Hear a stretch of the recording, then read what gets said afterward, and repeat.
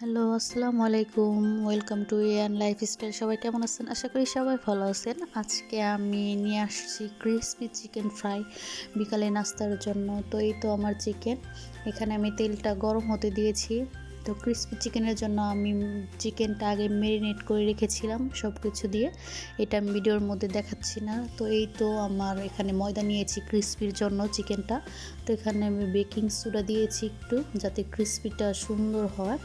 তো তারপরে দিয়ে দিয়েছি ধনিয়া গুঁড়া, মরিচের গুঁড়া আর একটু পরিমাণ মতো সল্ট দিয়ে দিয়ে দিয়েছি আমি এখানে। তো এখানে আমার লাগবে একটু পানি ক্রিসপি চিকেনটা বানানোর জন্য। এখন আমি হাত দিয়ে ভালোভাবে মিক্স করে নিচ্ছি দেন আমি চিকেনটা দিয়ে এটা ভালোভাবে ময়দাটা মিক্স করে নিব। তো এই তো আমার চিকেন দিয়ে ময়দাটা মিক্স করে নিয়েছি আমি। এটা যত সুন্দরভাবে মিক্স করে নেবেন, তত সুন্দর ক্রিসপি হবে। তো এই তো আমি এটা ময়দাটা একটু ছেড়ে নেব। তারপর আমি পানিতে ভিজাবো এটা। তো এই তো আমি পানিতে ভিজে নিচ্ছি। পানিতে ভিজিয়ে আবার আমি এটা ময়দার সাথে মিক্স করে নেব। এতে করে চিকেনটা সুন্দর ক্রিস্পি হবে। তো এই তো আমি ভালোভাবে এটা মিক্স করে নিয়েছি আমার শেষ, এটা ময়দাটা ফেলে দেন এখন দিয়ে দিলাম। তেলের মধ্যে তেলটা আমার আগে গরম করা ছিল। তো এই তো এইভাবে ভেজে নেবেন আপনারা।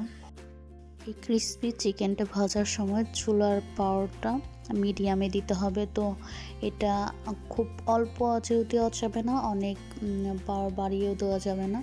তো এটা আমি চুলার পাওয়ারটা মিডিয়ামে দিয়ে নিয়েছি।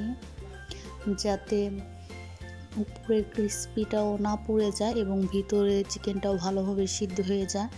তো এই তো আমি আরেকটা চিকেন এভাবে ভেজে নিচ্ছি। তো আপনারা চাইলে বাসায় বিকালে নাস্তার জন্য এটা বানিয়ে খেতে পারেন। আসলে অনেক সুস্বাদু এবং মজা খাবারটা। তো আশা করি সবারই ভিডিওটা ভালো লেগেছে এবং ভিডিওটা ভালো লেগে থাকলে চ্যানেলটাকে সাবস্ক্রাইব করে যাবেন। আমার চিকেনটা ভাজা শেষ।